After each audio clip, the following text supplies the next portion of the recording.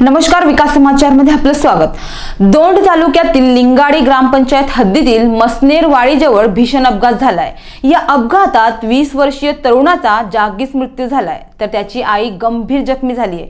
खरं तर ज्या लेकराला जन्म दिला त्याच्या डोळ्या देखत झालेला मृत्यू पाहिल्याने आईला मोठा धक्का बसलाय.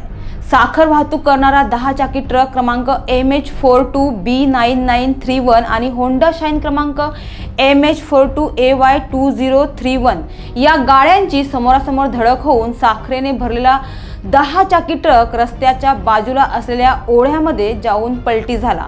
ट्रक चालक दोन शुगर कारखान्याकडून साखरेने भरलेला ट्रक घेऊन दोंडच्या दिशेने निघाला होता. तर दुचाकीवर असलेले आई आणि मुलगा दोंडकडून आपल्या गावी हिंगणी बेर्डी दोंड या ठिकाणी निघाले होते.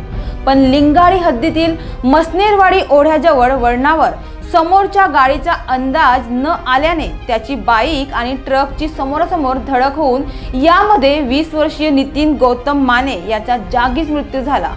तर पंचेचाळीस वर्षीय आई सुलाबाई गौतम माने गंभीररित्या जखमी झाल्या आहेत. त्यांच्यावर दोन शहरातील एका खासगी रुग्णालयात उपचारासाठी त्यांना दाखल करण्यात आलं आहे. त्यांची देखील प्रकृती गंभीर असल्याची माहिती देण्यात आली आहे. यामध्ये अपघातानंतर ट्रक चालक फरार झाला असून अज्ञात ट्रक चालकावर गुन्हा दाखल करण्यात आला आहे. अधिक तपास दोन पोलीस करीत आहे. दरम्यान पोलिसांनी घटनास्थळावरून नितीनचा मृतदेह ताब्यात घेतला असून तो शव विच्छेदनासाठी नजीकच्या स्थानिक रुग्णालयात पाठवण्यात आला आहे. तर दुसरीकडे आईने डोळ्यासमोर आपला मुलगा गमावताना पाहिल्यामुळे सुलाबाई यांना मोठा धक्का बसलाय. तुम्ही पाहत राहा विकास समाचार ध्यास ग्रामीण विकासाचा. नमस्कार.